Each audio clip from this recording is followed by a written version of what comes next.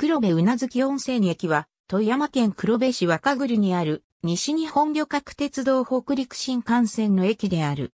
本記事では、当駅に隣接し、かつ、北陸新幹線の建設に伴う黒部市内の駅、整備計画に基づいて、黒部宇奈月温泉駅と、ほぼ同時期に設置された富山地方鉄道本線の新黒部駅についても解説する。黒部宇奈月温泉駅は2015年3月14日の北陸新幹線の長野駅金沢駅間延伸開業と同時に開業。それに先行し2月26日には富山地方鉄道の新黒部駅が開業した。黒部市の中心部東側約 3km の地点に位置しており、所在地の黒部市では駅前広場など駅周辺の環境整備を進めている。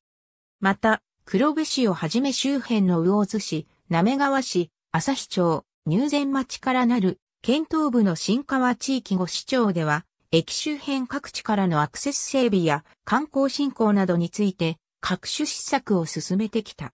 北陸新幹線の定期列車のうち、速達タイプの輝きは通過する。停車タイプの白高は全列車が停車するが、臨時列車では通過する列車もある。一方、2月26日の新黒部駅開業当日に富山地方鉄道本線のダイヤ改正が行われ、新黒部駅は特急列車の停車駅となり、従来特急停車駅であった東三日、市駅、浦山駅、愛本駅の3駅は通過駅となった。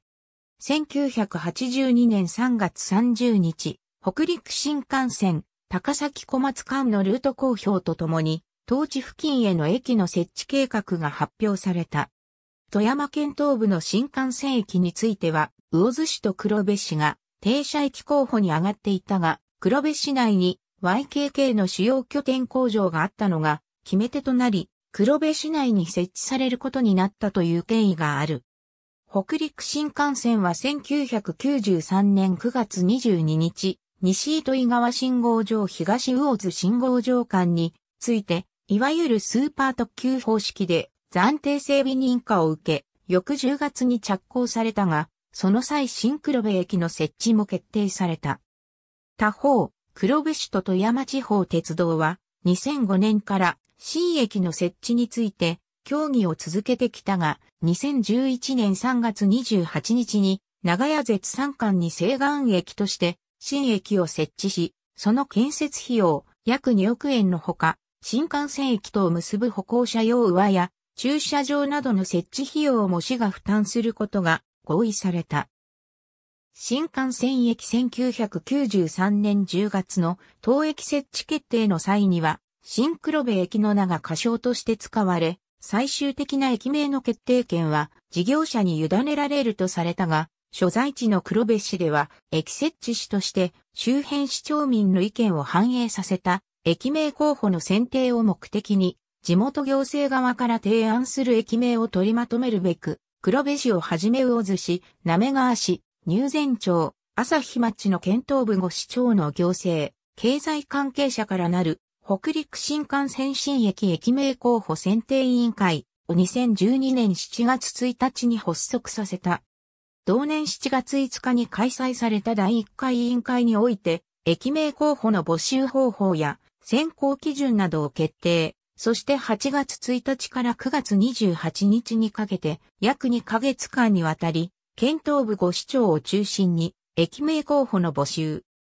全国から応募総数1608件、有効応募件数1558件543種類の候補が寄せられ、読み仮名と表記方法ごとに集計した結果、黒部うなずき温泉駅の286件が最多となり、次いで、新黒部駅194件、黒部駅85件、新川黒部駅、名水黒部駅が、それぞれ56件、越中黒部駅、黒部峡谷駅が、それぞれ33件などとなった。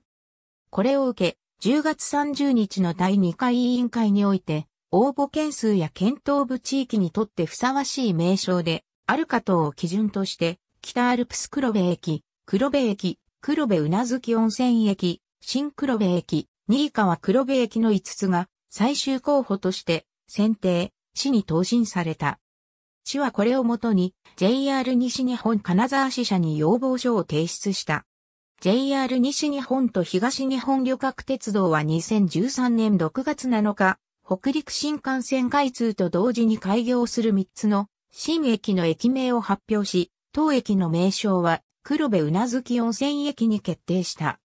黒部うなずき温泉の文字数は7文字で、古企画新幹線の駅名としては当駅の開業時点において最多文字数であったが、2016年に北海道新幹線の奥津軽今別駅が開業したため現在は最多タイである。なおいわゆるミニ新幹線を含めると、当駅開業以前から営業していた山形新幹線区間上の上の山温泉駅、桜んぼ東根駅がやはり7文字で最多タイである。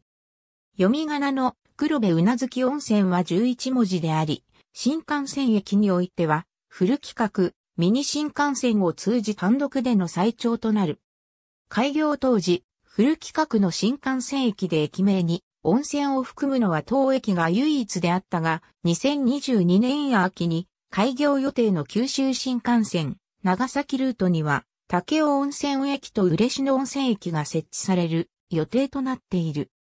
私鉄新駅一方、富山地方鉄道本線の新駅も新幹線駅に合わせ、同名の新黒部駅を仮称としていた。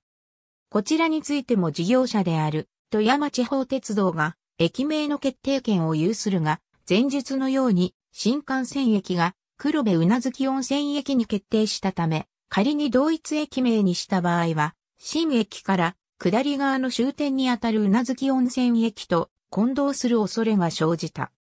同年7月26日に開催された黒部市の公共交通戦略推進協議会の平成25年度第1回会合において、私鉄の稲田裕二専務取締役は、その点について指摘した上で、沿線利用者にも混乱がないよう配慮し、私鉄駅と新幹線駅が一体と感じられる駅名を考えて、行きたいとの意向を示した。また地鉄側に対して、他の委員からは、新幹線と結節していることが直感的にわかるような乗り換えやすさやわかりやすさを示すことが重要だなどの意見が寄せられ、堀内康夫黒部市長は、市内には私鉄の既存駅が15もあり難しい面がある。最終的には私鉄の判断となるが、早めの対応をお願いしたいと求めた。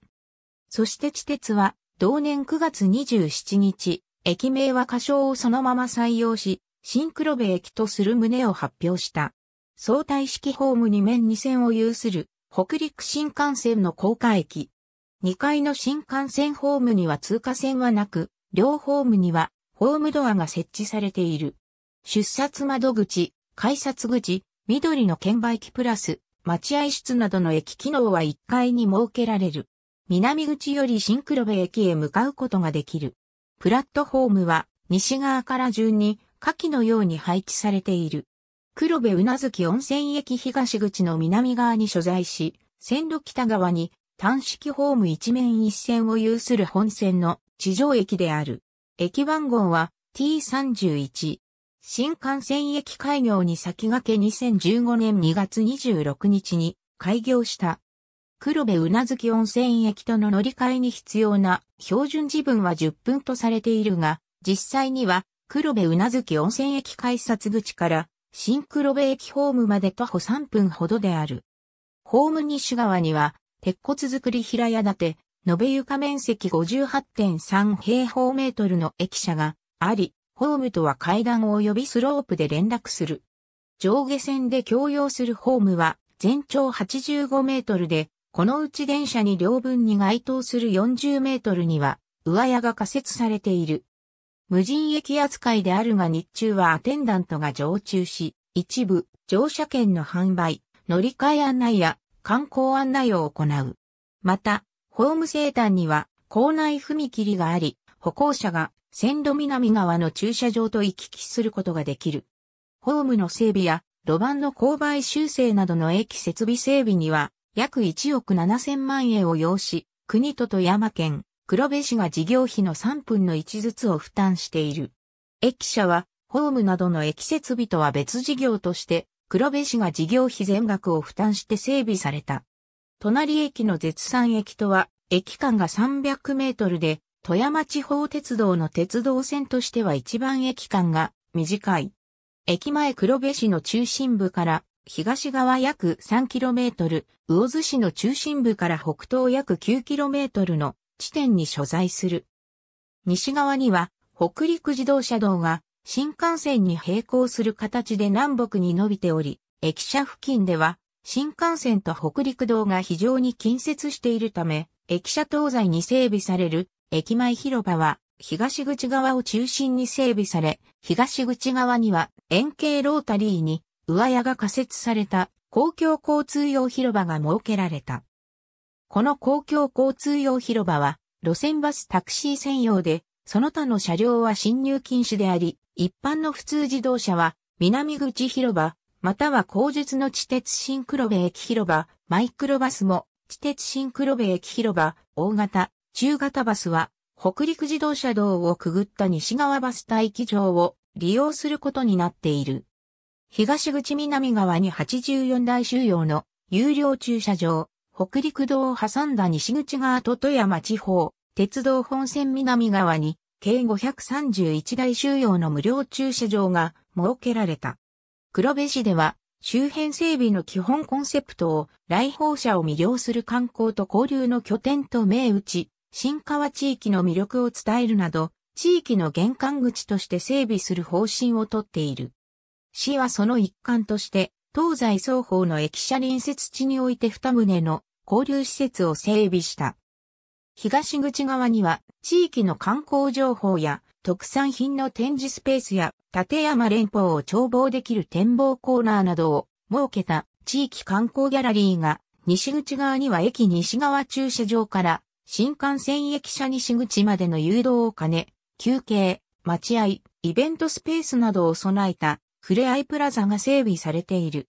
地域観光ギャラリーにはジオラマなどの展示施設のほか、観光案内コーナー、物販コーナー及び駅レンタカー営業所があり、後述のうなずき温泉立山室道線、直行バスアルペンライナーの当日券を発売している。さらに東側の屋外には、黒部ダムをイメージして作られた黒部の名水が湧き出す水の見場がある。地鉄の新黒部駅は東口駅前広場側、富山県道14号黒部うなずき線を挟んで、南側に位置している。こちらにも、駅前広場が整備され、両駅舎間を徒歩連絡する通路には、新幹線高架下を利用した道路横断部を除いて、上屋が仮設されており、雨天でも傘なしで移動できる。また、前述の通り一般車両とマイクロバスの送迎に利用できるほか、電気自動車用の充電スタンドと駐輪場が設けられている。使用されなくなった黒部峡谷鉄道のトロッコ列車がオブジェとして飾られている。黒部市は北陸自動車道を挟んだ西側と地鉄新駅東側にそれぞれ用地を確保し、利用者利便ゾーンとして事業者を公募した。校舎は駅東側商業ゾーンとしてをオープンした。駅東側商業ゾーン共有通路を含む、計約1260平方メートルの用地を、私鉄新駅東側駅利用者利便ゾーンとして、物販、飲食、サービス店舗等3区画の事業者を2013年8月から9月にかけ公募した。その結果、洋菓子製造販売、EV レンタカー、飲食店舗の3業者が選定され、2014年11月に着工し、2015年3月開業している。北陸新幹線新駅西側利便ゾーン約4700平方メートルの用地を北陸新幹線新駅西側利便ゾーンとして宿泊機能や物産機能を備えた商業業務施設の事業者を2012年9月に公募したものの応募がなく、同年12月再公募したが、やはり応募がなかった。市は、その後用地を約2300平方メートルに縮小したが、2014年11月時点で応募はなく、状況を見ながら協議することとしている。黒部うなずき温泉駅開業時点で、この用地の一部は前日の西側バス待機場として使われている。円形ロータリー内のバス乗工場駅東口公共交通用広場の円形ロータリー内に路線バス用のバス乗工場が5カ所あり、当駅と黒部市街地や周辺各地を結ぶ路線バスが発着している。シンクロベ駅に関するカテゴリー。ありがとうございます。